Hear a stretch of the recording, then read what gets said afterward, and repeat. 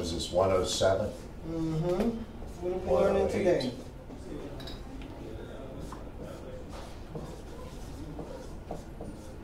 Transistors. Oh.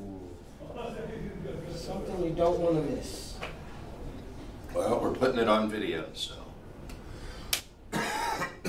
Whoever's not here is actually sort of here, but not really. Mm, Transistor intro. Let's go.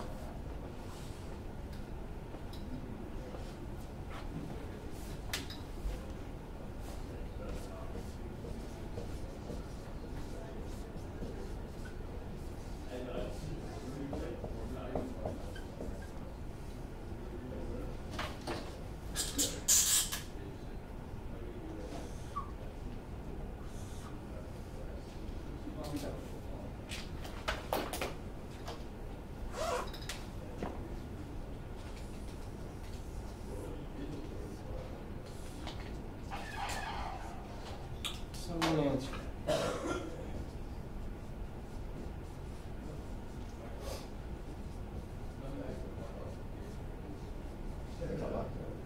We got locked out. Hmm. All right. I'm assuming the bottom of the snaps. Um, of course. Gotta go all the way around. So three terminals. All right. Transistor has three terminals to it.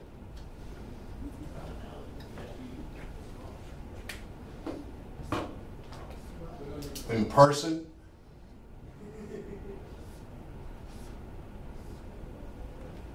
they look like this. And any one of them will have a 2N XXXX number, something along those lines. There are other ways of describing them, but 2N indicates typically a transistor. And they'll have a four digit number. Whatever that four digit number is, is what you have to look into the data sheet to figure out is it collector base emitter, base collector emitter, emitter base collector? You don't know until you look at the data sheet.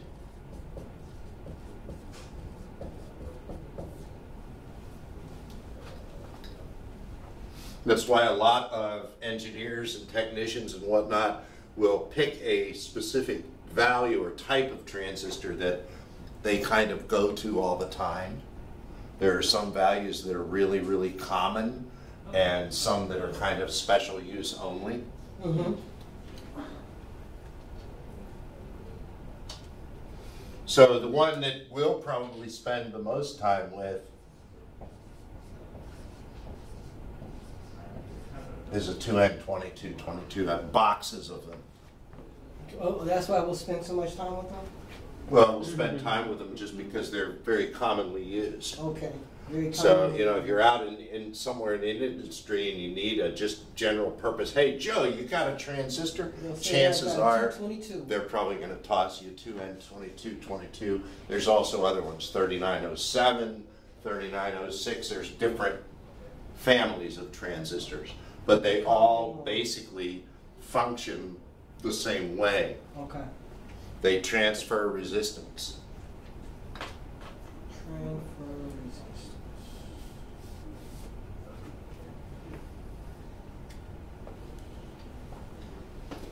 So in order to look at how these things work, let's go ahead and redraw this. And we are going to IE for emitter current, IC for the collector current, and IB for the base current.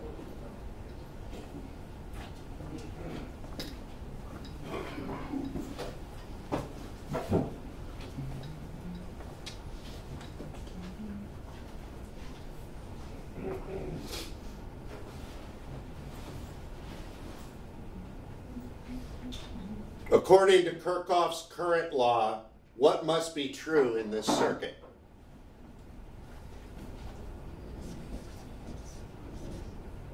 They must all match the voltage. It has nothing to do, it's Kirchhoff's current law, not voltage law. They just have to total current. What's that? They have to equal total current. Okay, that's true. But in terms of these three variables, what does Kirchhoff's current law tell us? that uh, either one will equal the other two, will equal by the other two, they will all Okay, that's correct. Put it into a formula. Uh, so I, is that three? Was that B? This one? So yeah, IB equals IC plus E. IE. Okay. That's true. Is there any other ones?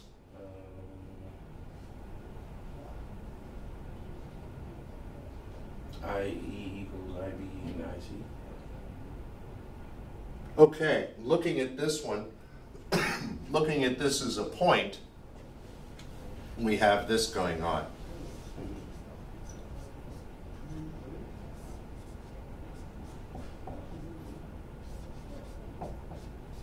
Oh.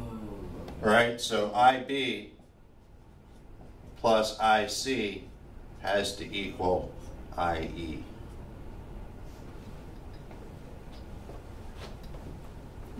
Look at the directions of the arrows, so that suggests the equation that we're going to work with here.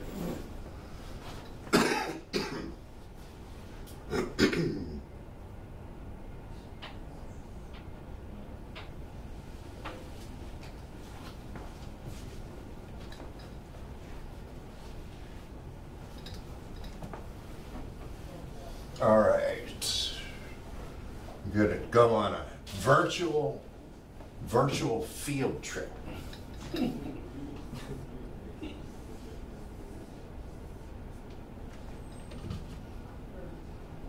ever been to a museum Mm-hmm. or like an aquarium? Sure. I like aquarium. Yeah, quite cool. Customers come in here and then you have over here, you have tour guides, right? Mm-hmm. At the concierge desk. What is each tour guide? Actually, let's change this a little bit. Let's put the customers up here.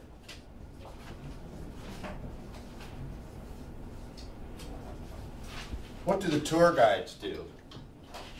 So Show you the tour guides take the customers and they bring them along. One tour guide. Will escort, say, 25 customers, That word is better. and how many will leave? 26. 25 customers, one tour guides. The customer leaves. Where does the tour guide go? Right back, gets in line Hmm. to take another 25 customers. Right? So,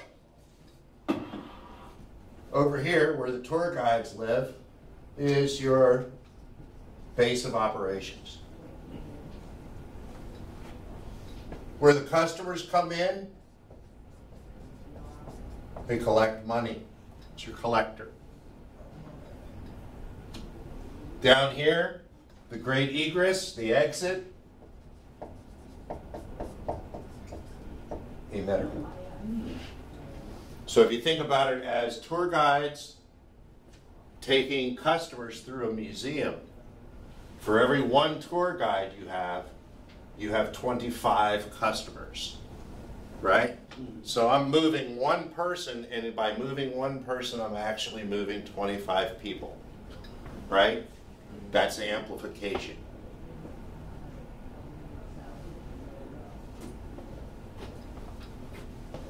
My amplification factor here is how much?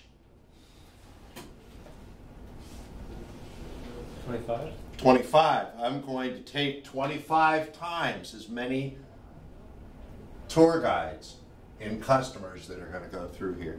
Each tour guide is going to look at 25 customers So if I have five tour guides, I'm gonna have hundred and twenty-five customers.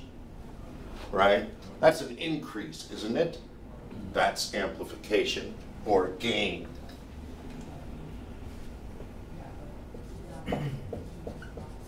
Every base transition creates 25 collector transitions. Therefore, we can say that the gain is equal to 25. I get 25 times out of that thing what I put into it.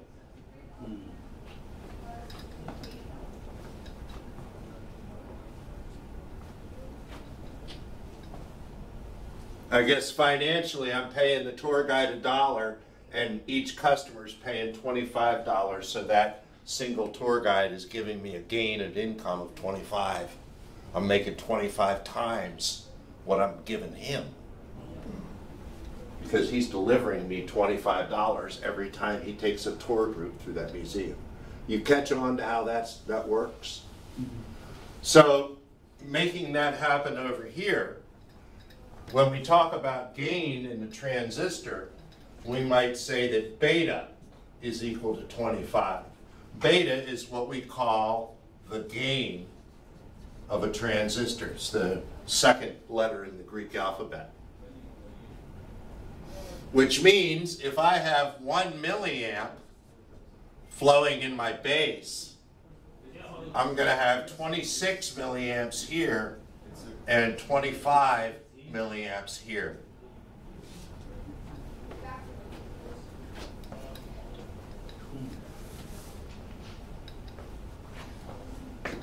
Beta comes from the data sheet.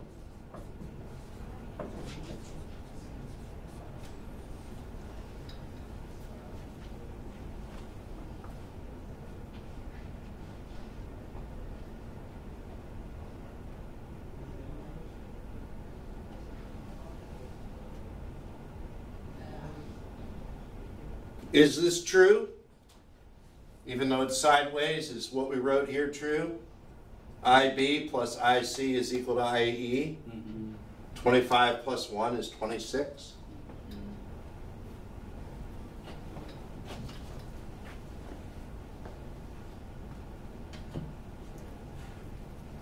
Why does the arrow from IB point away from the from? IE? Because in order for this to work, we have to have, normally we'll have this attached somewhere to ground, and this will be some positive voltage, because we need to have 0.7 volts across the transistor. Haven't gotten there yet, but that's why, because this is gonna be a higher voltage than this, and therefore the current's gonna flow that way.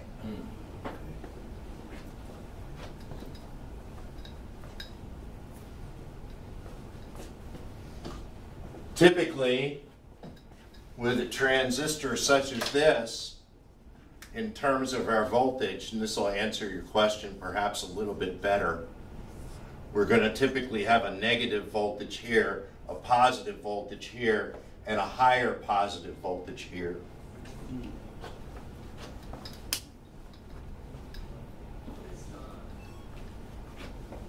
So in terms of the higher positive and the regular positive, they they go into each other. Well, remember, we haven't talked about it yet, but these are diodes in here. So diodes only allow current to flow in one direction, right? So if I have a negative to a positive here, this can actually be represented by a diode. Current's only going to flow in that direction, right? If I have the same thing here, which I do, then current can't flow in that direction.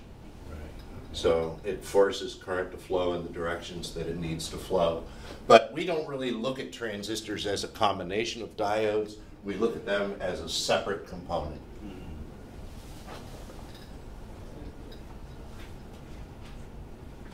What am I looking at right here where you're saying one milliamp of the, uh, uh, current base? Here, Yeah, where is that? Uh, where, what is that whole thing you're saying there? That's your base current, and, Mhm. and what I'm saying is that, that one milliamp is related to this example. Okay. Right, one tour guide, twenty-five customers. Mm-hmm. One electron coming out the base, Okay. twenty-five electrons coming out the collector.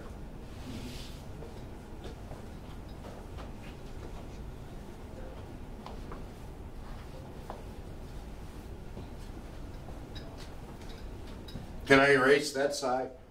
Left side? Uh, yes. I know some of y'all got here late, I don't wanna cut you off. You're good.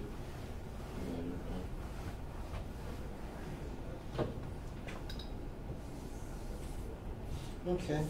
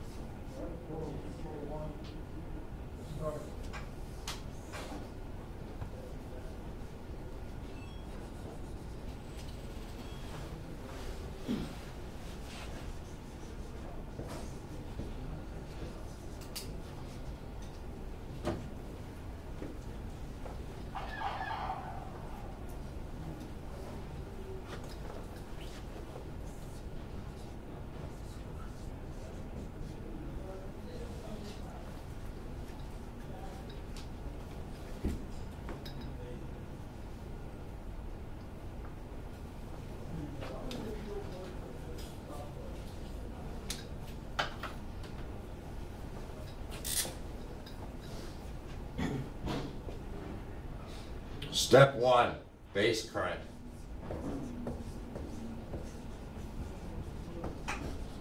And we'll go ahead and assign this a beta of five. So our amplification factor is gonna be five.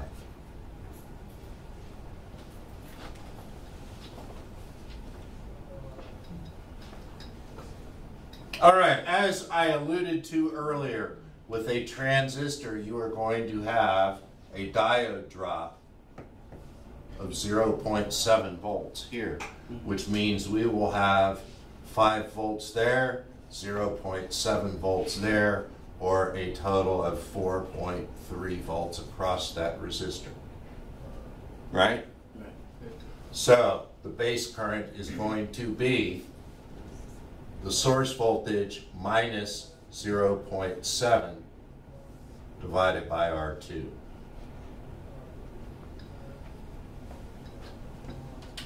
And we'll make R2, let's pick a number, let's make it something simple, 100 ohms. So 4.3 over 100 ohms should be 43 milliamps if my math is correct.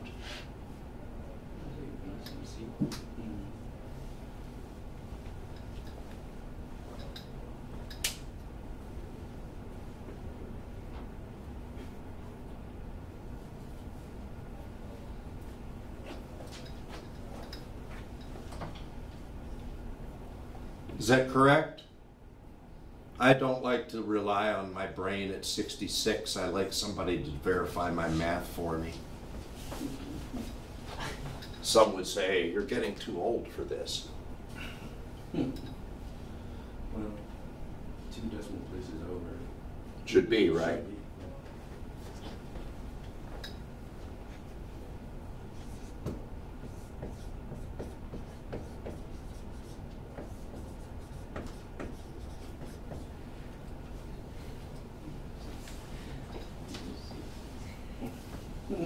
Collector current.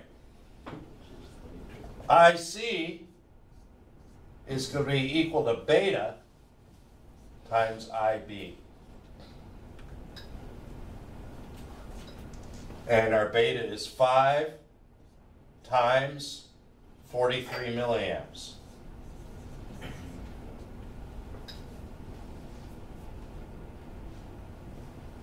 Or two fifteen.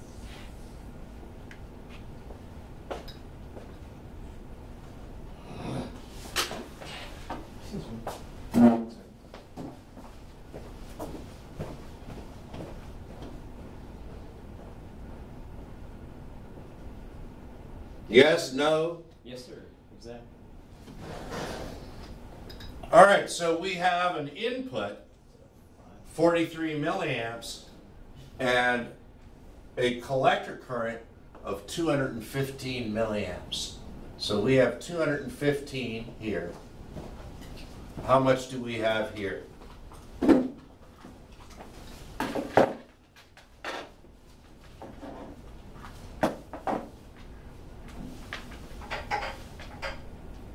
Oh, one more time? Can you say that Yeah. one more time? I sure can. We have 215 milliamps here. How many do I have here? Uh, 215 plus 43? Yes. So would that be 258? yeah.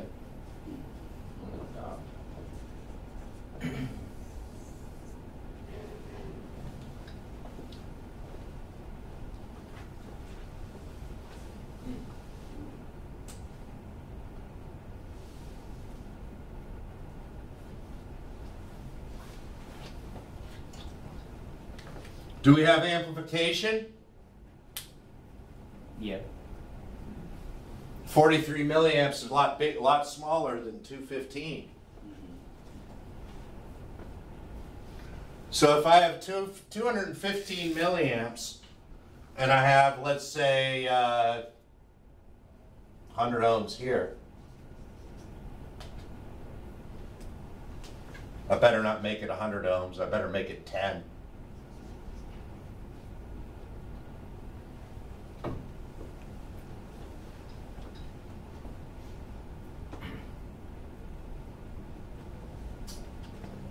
I'll have how much voltage?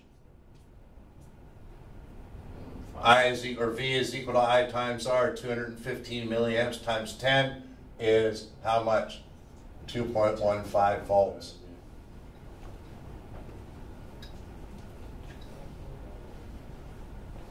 And if I have 2.15 volts here, how much will I have here? 2.15 volts. Now I got 2.15 volts between 5 volts and this point, which means I'm going to have to have 2.85 volts between here and there so that they add up using Kirchhoff's voltage law to get to 5.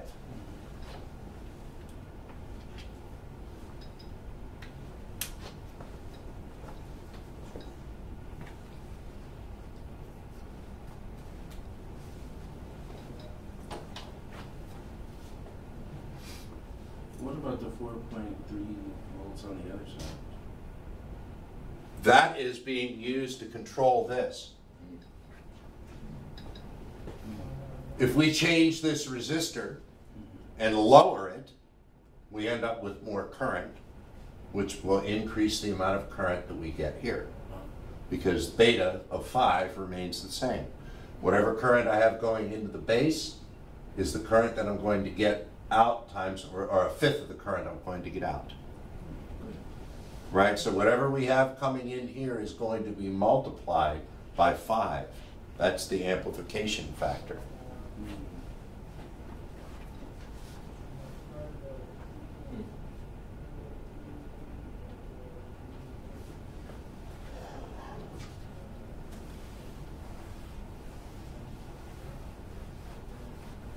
So gain.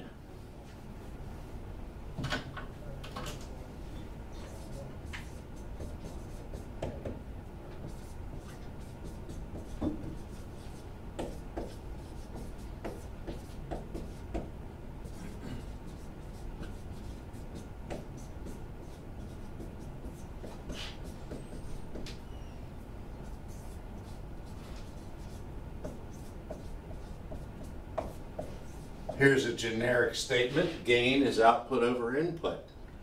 Voltage gain is output voltage over input voltage. Current gain is output current over input current. Power gain is power output divided by power input.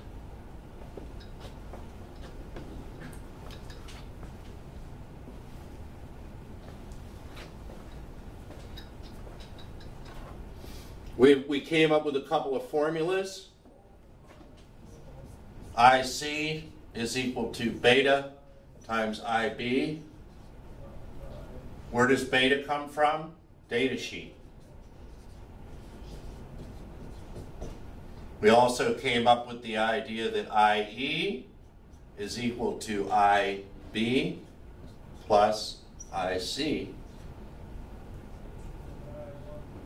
And VE is equal to VB minus 0.7 volts.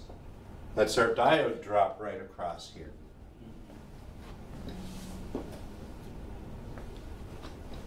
So these are like the formulas du jour.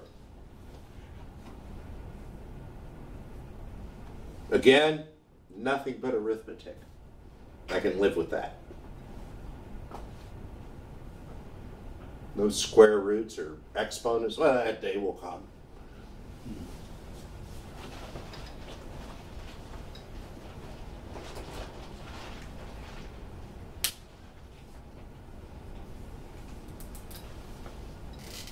So this seems really tidy, doesn't it?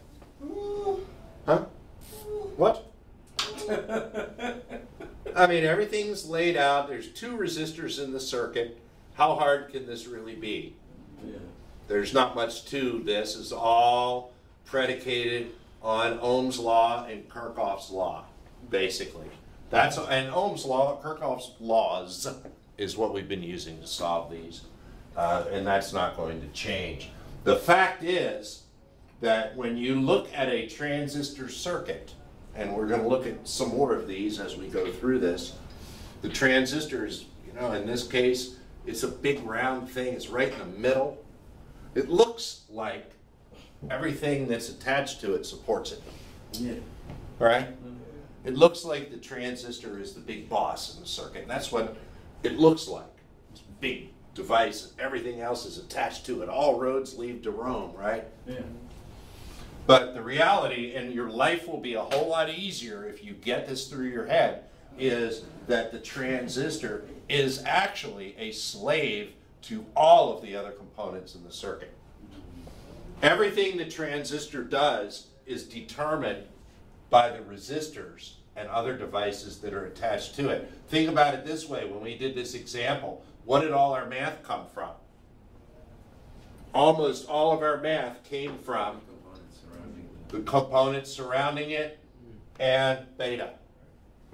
It's the only thing we used was beta. Everything else was resistor voltage current based.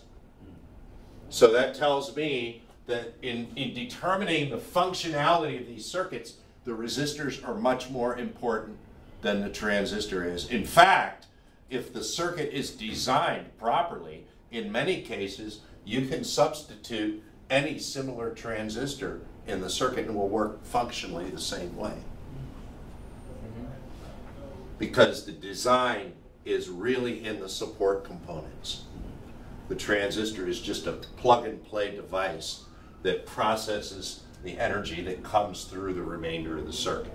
So don't get yourself conned into thinking that the transistor is all that important. You, you know, I'm kind of looking at him saying, dude, you're replaceable. The design of the resistors is not. Okay, so that will help you. Um, one thing that will not help you, however, is what I'm going to introduce and what I'm going to conclude with for today. And that is this fella right here, beta. Can I get rid of, let me get rid of this drawing, I'll leave that up. Okay, I have a quick question about. Well, I got a quick answer, but you know what? It'd be a lot better if you went first so that my answer matches your question. The uh, the the what was it? The resistor that that took 0.7 away into the The base resistor? yeah Yeah. the base resistor. Will that always leave 0.7? As long, generally, as long as you have at least 0.7 coming in, it will, because there's nowhere else in that circuit for the current to go. Um,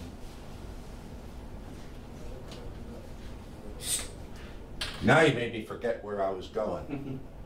Beta? Yes. You were taking us on a virtual journey. You've already been there. We're already home. Bus has already left. Yeah, we, we, we did that. The tour guide went back.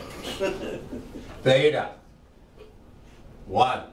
We went back to the spot.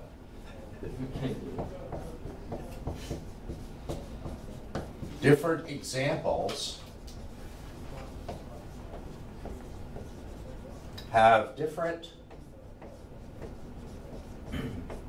beta values.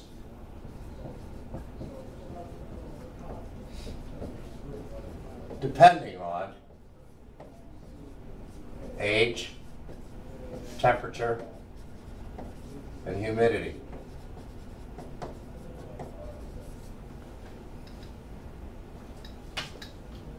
That makes sense.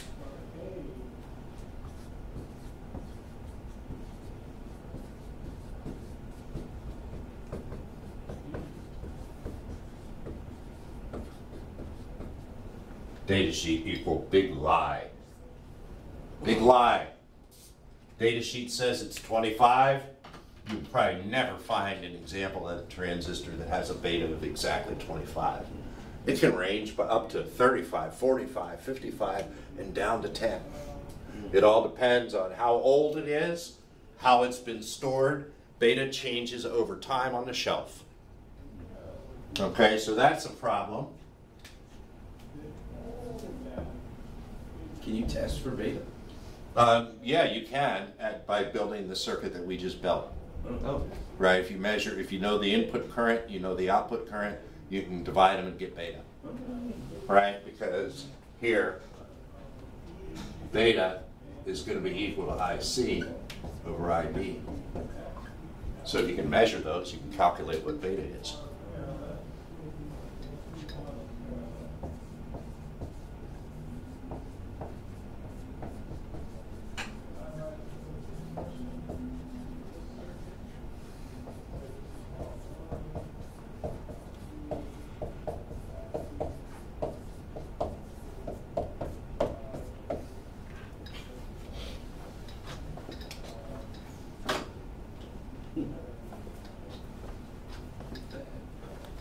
If you ever did, uh, try to maintain a cocaine habit, Uh, no. and uh, tried to, or maybe speed, whatever that crank is, that stuff that you, whatever that stuff is, you take you take speed so you can stay up longer and work harder, make more money to buy more speed so you can work harder, so you can make more money to buy more speed and work harder and make more money to buy more speed and work harder, and then eventually you die. Get your Right. heart exploded from You just the go into this endless self-aggravating situation where it just gets worse and worse. All right? We get a runaway situation. So with beta, we have the same thing. Beta doesn't do, doesn't, it's not addicted to, to cocaine, but it likes current.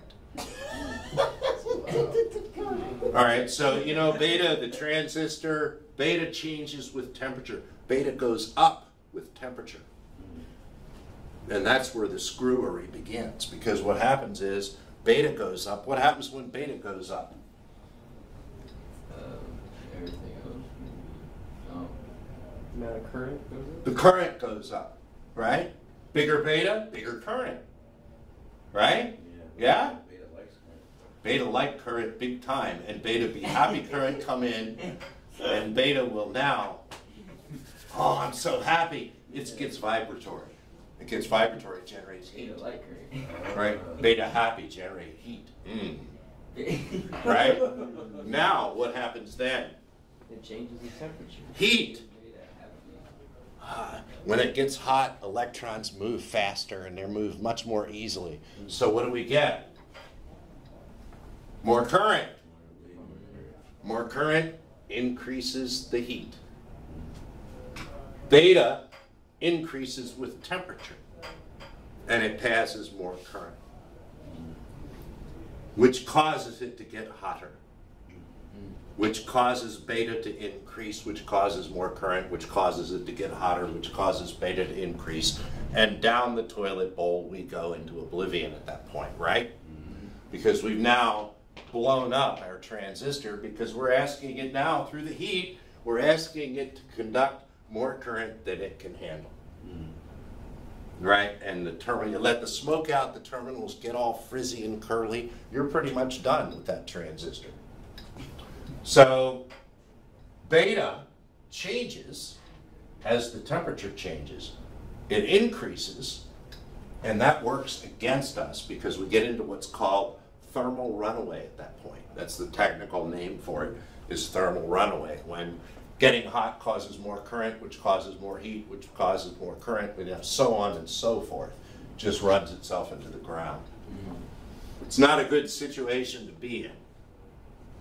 So, clearly, clearly, relying on beta to predict how our circuit is going to operate is not a really good plan at all.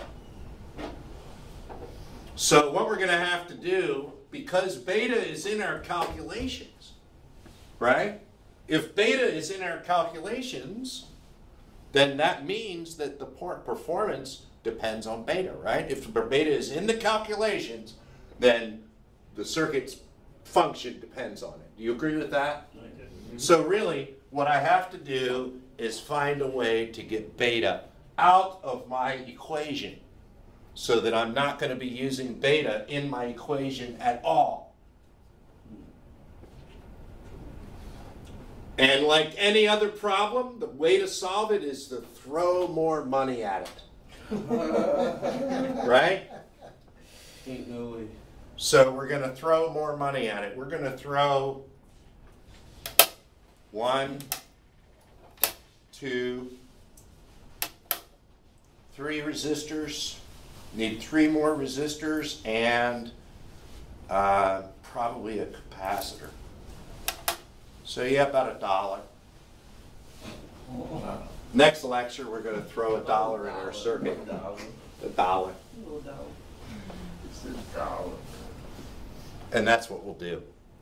We're gonna throw a dollar at the circuit, add a couple resistors, and go through the circuit, and we're gonna find out that we don't have to use beta to determine what the gain is, and that circuit will stabilize. The extra resistors and toys that we add to the circuit will help to stabilize it. But, and a big but it is, we're going to have to go through more calculations. But, and a small but it is, they're all arithmetic. And they're all calculations that I know you have done before. We're going to get through the improved version of this circuit using Ohm's law, Kirchhoff's laws, and the seven tenths of a volt law. And that's all we're going to need to solve the next circuit that we're going to look at. And for the most part, any of the circuits that we solve. Why? Because the non-transistor components are the boss of the circuit and they all observe those same laws. How does that sound? Simple? That sounds fantastic. We'll have fun with that. Uh, we'll have that next part uh, tomorrow. We'll eliminate beta from our calculations. And at that point, once we've done that, then we can really start to get into how these things amplify. Okay? Because it sounds like Beta's a huge junkie and we do not need to be feeding it. No, beta is a big problem. It's a big problem. It uh, uh makes life really difficult to navigate through when you're trying to get an amplifier to work. Because if it gets too hot, you're screwed. And even if it gets cold, then beta, of course, goes down when it gets cold. So if you take it out, you know, you take your little Walkman or whatever with a cheap ass amp in there out and it's cold outside, you're going to have a volume problem because your amplifier isn't pumping out enough juice. Hmm. It's cold. Electrons don't want to move when it's cold. Do you? No. Well, they don't either. so that's how it gets. All right, that's it for today. How are we doing on time? Ten forty. Well, that sounds good. Is that income tax form? How appropriate. We just we just had to fight.